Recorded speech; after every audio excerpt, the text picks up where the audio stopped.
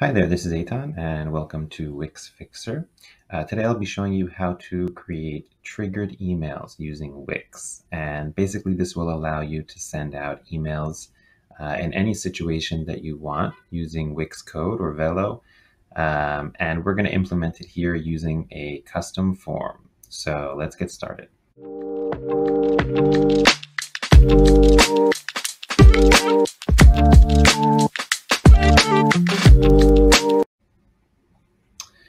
Hi there. So here I have uh, my custom form set up and it's basically a few inputs that take first name, last name, email, a submit button, and a thanks text that kind of just shows that we submitted the form. And in a previous video, I showed how to save the information from this form as a contact in the list of contacts uh, on your Wix dashboard. Uh, and if you haven't turned on dev mode yet, so you're going to want to do that now by clicking up here and turning on dev mode. And I already have it on, so I'm just going to pop down here into the code. And here you can see the code from a previous tutorial. I'll link to it below if you want to kind of catch up. And what this code does is it saves the contact using the uh, append create contact uh, API. Uh, and just a brief explanation. So we have uh, submit.onClick, and then we have the contacts info, and we uh, create the contact. After we create the contact is where this tutorial comes in, and that's where we're going to want to be sending an email to uh, the admin, to ourselves, and an email to a contact. So let me show you how that's done. First, we're going to hop over to our dashboard, go to Developer Tools here on the bottom left, and Triggered Emails. And now you're going to want to, if this is the first time you're setting this up, you might see kind of like a setup uh, intro screen that you're going to run through.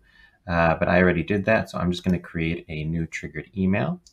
And I'm going to call this email, let's say, thanks for getting in touch. And I'm just going to have the first name and inside these email templates, you have the option of adding a variable. So you could either do that by clicking here and adding the variables. Let's say I'll call this one first name. Okay, and then you see it adds it like that. You can also just add it yourself uh, by writing, let's say, last name, and then dollar sign, squiggly uh, braces, and uh, last name, and close it. Okay, so that's also how you would write it, add a variable. And let's say email, and just add variable email. Okay. So this is the email that we're going to be sending um, our uh, contacts when they fill out the contact form. And we're going to be sending a copy of this email to ourselves as well, just to keep track uh, of who filled out our form. So now that we've finished with this form, uh, we can just save and publish. And uh, after you publish the email, you'll get this kind of um, summary screen. And here there's a few important things. So first you have the email ID, and I recommend changing that to something um, something intelligible. So contact form, okay, let's say. And here on the bottom, we have code snippets. And you'll see that you have two versions of this code snippet. One is an email for new contacts, and one is email site members.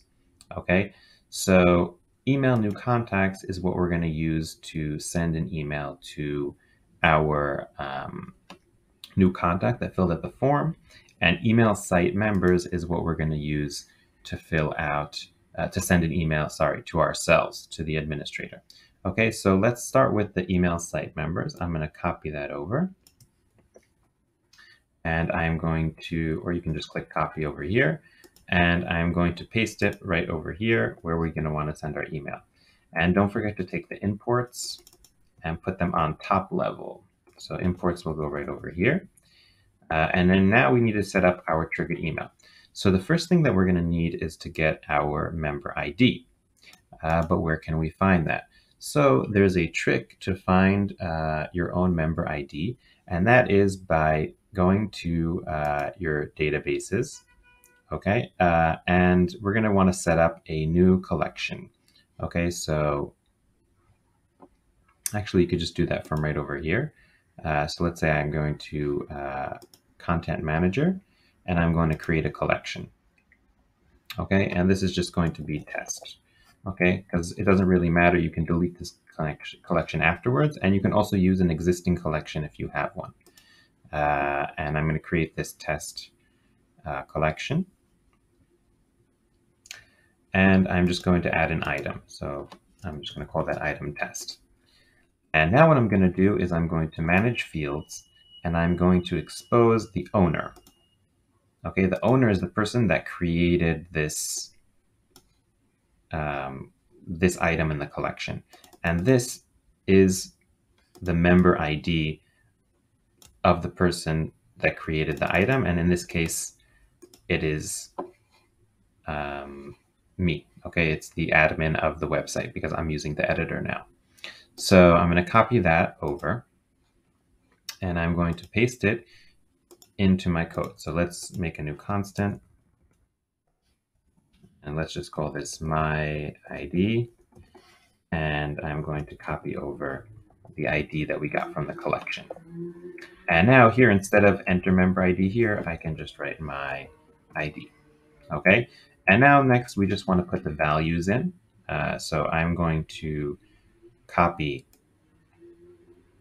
this value and put it over here for the first name value. And same will go for the last name value.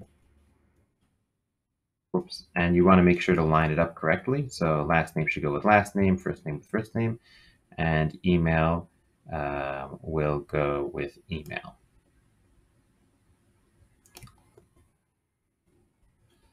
And when you're done with that, you should see that all the red squiggly lines should go away and we can format our code. Okay, so now we should be done with setting up uh, sending an email to the system. So what I'm going to do is I'm going to publish the code, publish our website, and I'm going to hop over to an incognito uh, window. And from this incognito window, I will be testing out our form. So let's just use Jim Halpert. And I'm going to use email jimhalpert at gmail.com. And I'm going to submit our form.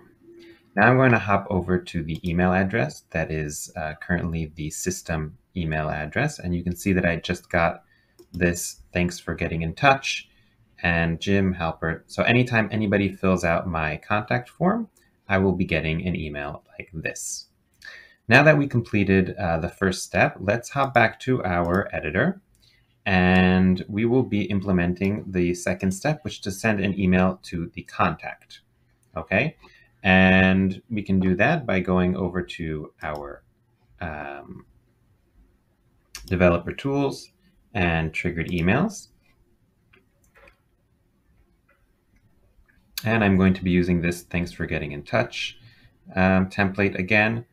And uh, what I can do here is just click, um, sorry, actually, well, you could do it in several ways. You could publish it again, and then you'll go back to this uh, code snippet that we're using. And if you remember last time we used the email site members code snippet, this time we're going to be using email new contacts code snippet. And you know, if you want to get really advanced, you can set up two separate triggered emails, one for the system and one for the uh, contact themselves. Um, but here, for simplicity's sake, I'll just be sending the same email out to both. Um, so I'm going to copy the code over here into send email uh, to contact. And since we already imported triggered emails on the top, I'm just going to erase this piece of the code. Okay. And now what we need is the contact ID. And the way we're going to get this contact ID is using this resolved contact. Okay, so here instead of contact ID, I'm going to be using resolved contact dot contact ID. Okay, so this should be the contact ID of the newly created contact. Okay, and uh, now I'm going to be entering uh, the same information that we had um, in the previous email. So first name will go over here and email will go over here. And last name will go over here. And now all the squiggly lines are gone. And uh, what I didn't show you last time is setting up this um, error handling. Okay, so uh, basically you can add two uh, chain functions after this uh, triggered emails function is executed. And one of them is then, so this will happen if the email is sent successfully. And this is catch, which will do something if we have an error. Um, so I'm going to copy this code over and I'm going to put it also right under here just so we can handle errors for um, our second triggered email as well. Okay, so now we have two things set up. We have sending email to the admin and we have sending an email to the contact. So I'm going to publish this. And now that I'm done, I'm going to go back to um, our um, incognito website. I'm going to refresh. And uh, this time I'll be using my own credentials um, to fill out this form. So I'm just going to use inbound beacon, and I'm going to use the email inbound beacon at gmail.com, and I'm going to submit. Great, so we got the thanks, and if you look here and you inspect the code, then you should see that we got uh, email sent. And uh, here we got an error that says contact ID does not match current session contact. Okay, so we got a, uh, a new contact ID for this um, for this email uh, address, but it doesn't match the current session contact, which is me. Um, so what we can do here is try to use um, another um, email address over here. So I'm going to use um, another email address. And I am going to click submit again. And now we have email sent, email sent. Okay, so this will not work if you're trying to send uh, both emails to yourself, uh, but it will work if the person filling out the contact form is not the person who is getting the system email. Okay, so now let's just check again uh, right over here. Okay, I have another uh, email over here uh, for the um, for inbound beacon. So I got a system email for inbound beacon and I got a system email for lanegroups at gmail.com. And if I were to check my lanegroups account, then I would see that I got an email uh, to there as well. And if you don't trust me, I will leave the link to this um, webpage in the description below.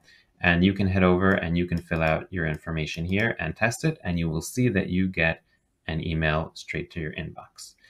So uh, thanks for watching this video. Um, if you enjoyed, please don't forget to like and subscribe because we're going to be having more cool videos that show you how to use lots of different Wix features uh, in the near future.